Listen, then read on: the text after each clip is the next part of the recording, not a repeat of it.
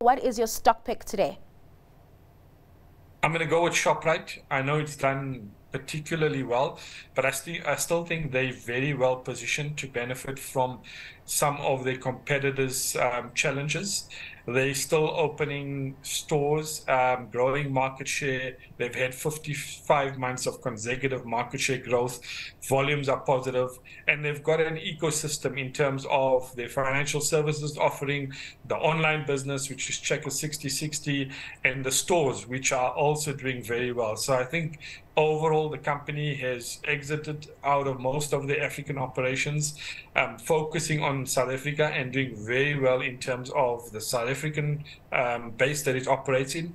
And I think they're well positioned in terms of gaining further market share as well as be benefiting from higher food inflation, which is positive for the likes of a Shoprite. So Shoprite, your pick of choice. Imtiaz, unfortunately, we have to leave it there. Thanks for your time and just taking us through the day's markets action. That was Imtiaz Suliman from Sentio Capital.